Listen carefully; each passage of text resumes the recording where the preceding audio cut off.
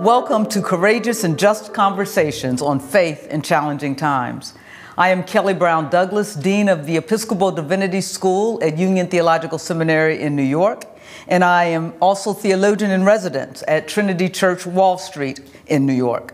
I am pleased to be here today with Austin Channing Brown, author of I'm Still Here Black Dignity in a World Made for Whiteness.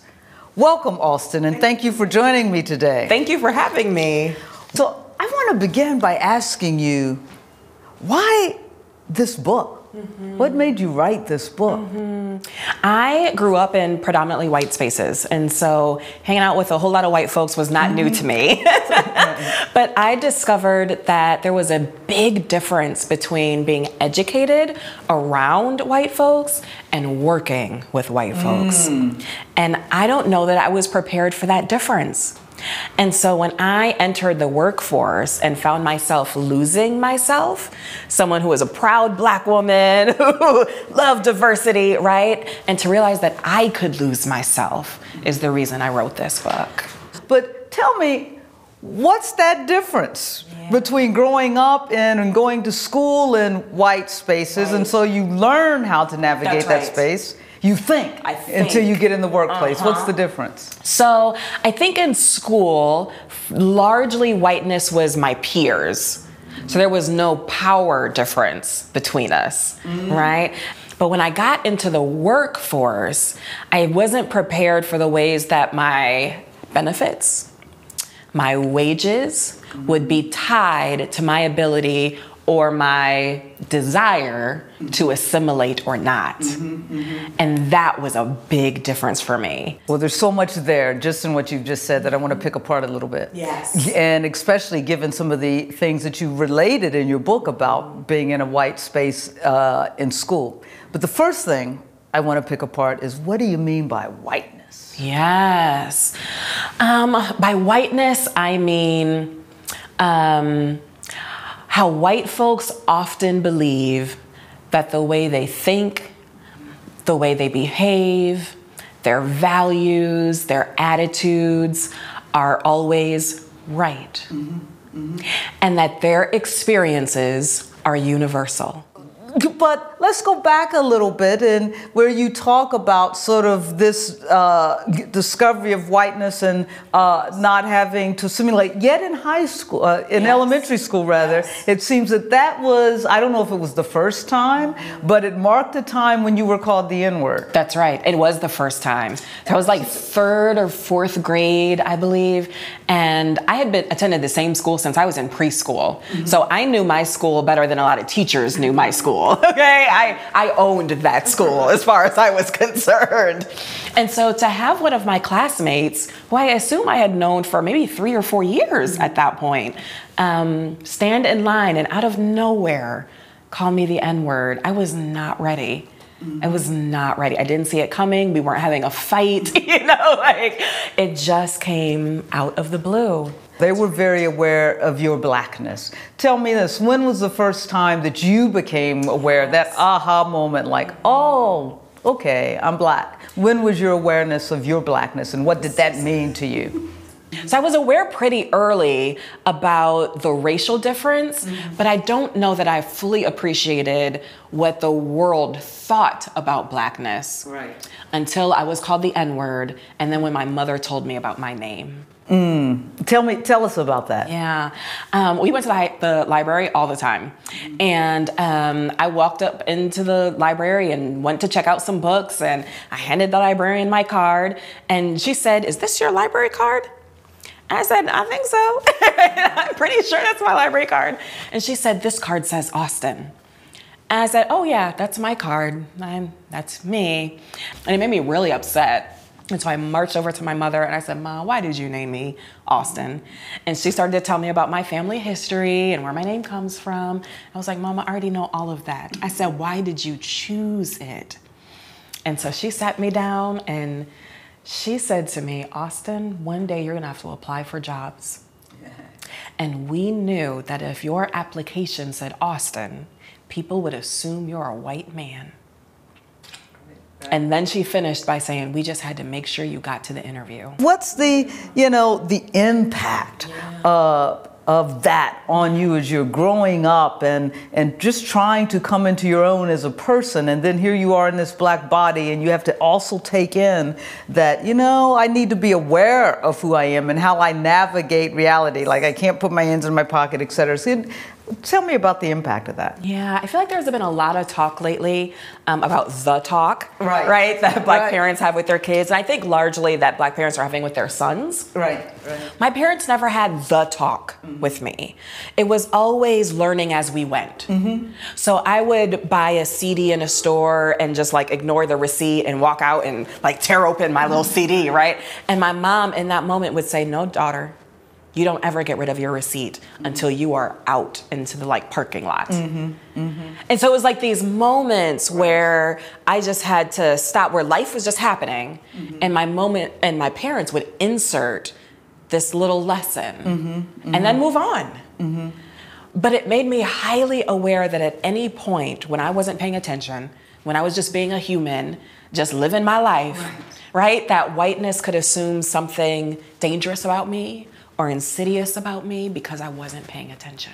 Right, right. So, and it's one of the things as you talk about whiteness, it's one of the things that whiteness or white people don't understand, right. you know, sort of that other layer of what it means. Uh, Audre Lorde says that we have to teach our children to love and resist at the same time. And I am struck in your book uh, where you say, in spite of it all, that's right.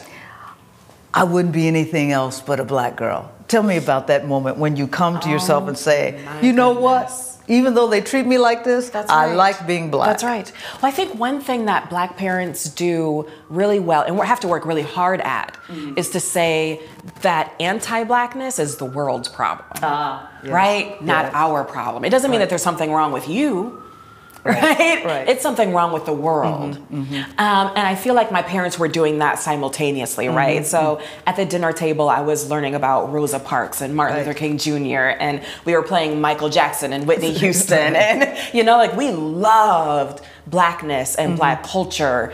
Um, and to a certain degree, I would say we were prideful about it. Mm-hmm, you know what I mean? Yeah, yeah, yeah. Let's jump ahead to this experience now that you are having in the workplace. Yes. And you talked about that uh, in our conversation just now as sort of these performance reviews and and not, and finding out that you know you had to assimilate and what it meant not to assimilate. Yeah. But what about the everyday experiences. You know, I'm always amazed the the quote unquote microaggressions, and I always say the only people for whom those are microaggressions are the people who aggress. So I think I think yes and no, right? I think it depended on the microaggression. Mm-hmm. So, in some part because of the rules of Christianity and politeness, mm-hmm. right? And so oh, we'll if I get to that in a minute. Mm-hmm, mm-hmm. so when I think about um, someone touching my hair, yes. right, who means to be um, kind and is trying to give a compliment, right? But I am not experiencing this as a compliment. This is an intimate act. Right, right. I don't know you that well. right. Can we talk about consent? Right? But the rules of Christianity politeness say that I can't get angry mm-hmm. and that I can't. Right. Right? that I must hide my offense. Um, and so in some ways I was like, what do I do? You know? And then there were other moments when I thought, nope, I'm not going to give in to the craziness of this moment. Mm-hmm, mm-hmm. So when a white person mistakes me for the only other black woman in the office, right? Right? You talk about the politeness of Christianity that does not allow you to get angry, right. and I will return to that. But what about the values or the mm-hmm. assumptions or, of, of white culture yes. or of whiteness yes. that doesn't allow you as a black woman to get angry? Oh. It's it, whiteness is in many ways so insidious because it expects assimilation. Mm-hmm. Um, because it's not asking, right? It's not offering a choice. The expectation that is you will desire to be like it. And that is so insidious. Um, so I remember, um, I remember one workplace, um, my supervisor telling me how much leadership potential I had. Every every time I was in her office, you have so much potential. You are just oh right. And the first time I would be like, oh okay. I'm so glad you recognize my leadership potential, right? And it took me such a long time to realize what she meant was not Austin, I see who you could become, Right. but Austin, I see potential for you to be like us. Right. Right. I see right. potential for you to teach like us. I see potential for you to speak like us. I see potential for you to take on a certain personality like us. Right. Right? That's what she meant. So is it something you know about whiteness? I'm I'm you know exploring and navigating this thing. You know, is it possible Mm-hmm. to be white and Christian, even if we accept the fact that, as I often say, just because you happen to look like a white American doesn't mean you have to act like one. That's right. That's so g- that is it possible Yeah. to uh, be both white and Christian uh, in that sense of whiteness as you've explained it, or is that an anathema? Uh, Yeah, I think that whiteness as a structure, as a power structure, and as an understanding of oneself has to be cast off. And I think that's possible. I think as a daily practice, right? Not as a right. one time, like, Right, oh, I'm not right. white anymore, right? But as a, as a daily decision, right? Um, that I am going to do my best to not participate in whiteness. Um, I think that's possible to be Christian and do that. no, no, good. It, it reminds me of uh, one uh, feminist, and uh, who's uh, obviously a white feminist, once said that the most that white people can ever uh, be, and, and I think it's a good thing, are recovering racists. I- so that every day they have to uh, be very self-aware right. of the ways in which they are or are not choosing to uh, live That's in right. to right. this reality of whiteness. I think it requires a certain level of vigilance. What's the role? What do you, what do you think the role of the church should be, particularly the white church in this regard? Is there a possibility for telling the truth? And what's the role of the church in that? There is a possibility for telling the truth. I think the question is is it desired? Is there a desire to tell the truth? And I think there are so many churches who don't want to talk about uh, white flight and who don't want to talk about their own participation in slavery and don't want to talk about um, who preached for segregation from that pulpit. Mm-hmm. And don't want to talk about how they decided to put their church in that particular location. Mm-hmm. And right, right, who don't want to talk about their funders their donors who are often more conservative even if the leadership Right. would like to be more progressive mm-hmm, right?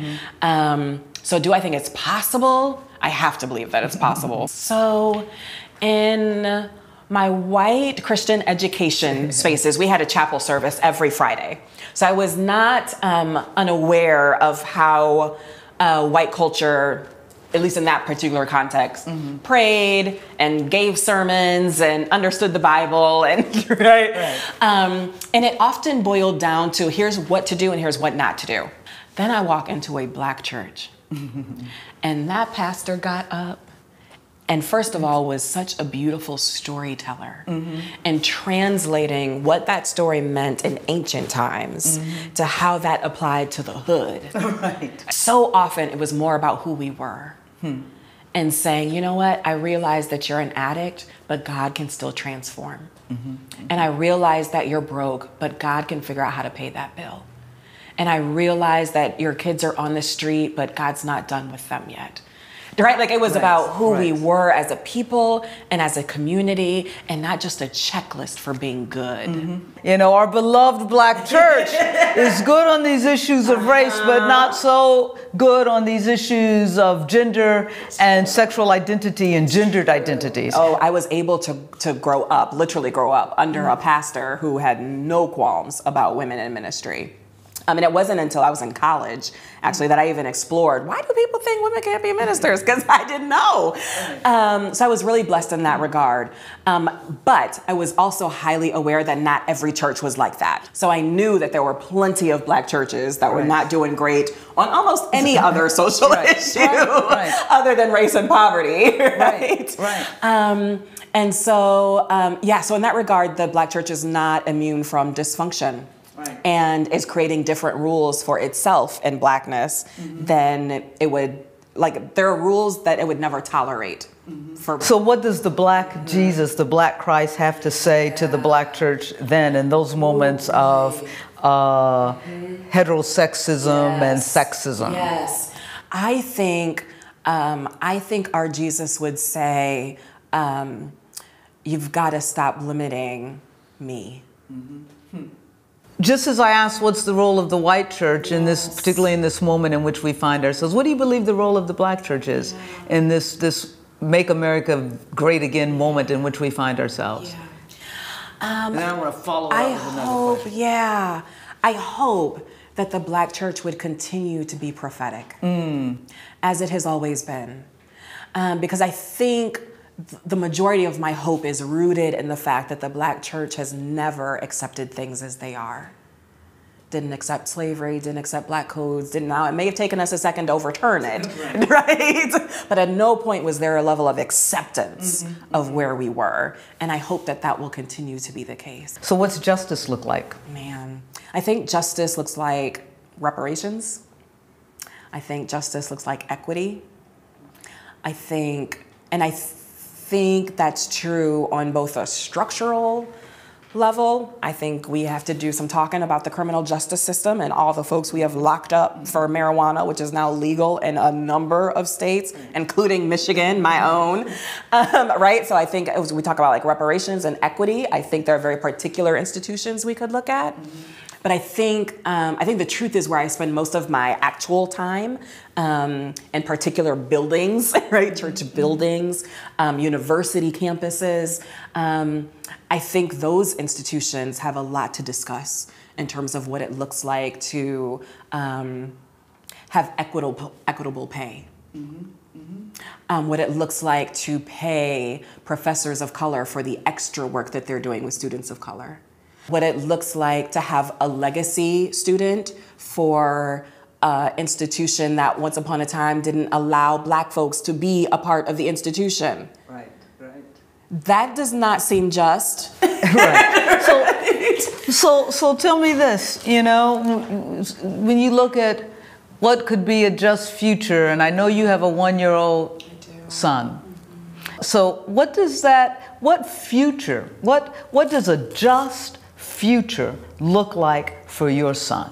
What is the just future that you want for your son? I don't believe that he'll have one. Mm. And I don't anticipate that in the next 20 years that he is going to experience anything that's vastly different than what my husband and I have experienced. And so I have to prepare him for a world of injustice and hope that I can instill in him a desire to seek justice. Because I don't believe that the world is going to change enough for him to actually experience justice. So now that sounds like another book. Do you because yeah because what does it feel that's you know what does it feel like knowing that you are preparing your son to navigate his life through an unjust world you know i think every, every night still i wait for that text from my son Yes. to let me know that he's in safe, right? Because you know, I always say to him, I it's not what I don't worry about you, I worry about them. So what does it feel like? Right now, it feels unfair. it feels unfair. Um, when um, when I was on my way to the hospital to deliver, um, my husband and I were in the car, and we weren't talking about names, and we weren't talking about um, how our lives were about to change. we were talking about what we would do if the doctors didn't believe me if I was in a particular amount of pain or if something had gone wrong um, and they weren't taking it seriously. So Which even, is the reality of so many black women, right? Right. and so, in some ways, even as I'm giving birth to him, I am thinking about the injustice of blackness, right, in this country. And um, I think to be a responsible parent, I must prepare him for that world. But that doesn't mean that I can't also dance with him to Stevie Wonder. right. Well, but that's preparing him for the world, that's right? Because it's loving yes. and resisting yes. at the same time. At the same time.